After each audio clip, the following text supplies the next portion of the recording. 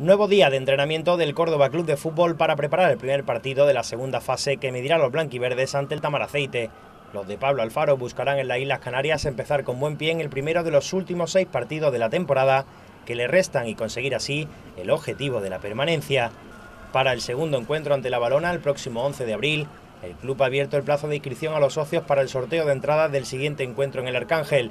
La entidad califal ha informado que podrán inscribirse aquellos abonados que solo hayan asistido a un encuentro y que el plazo de inscripción se cerrará el próximo martes 6 de abril.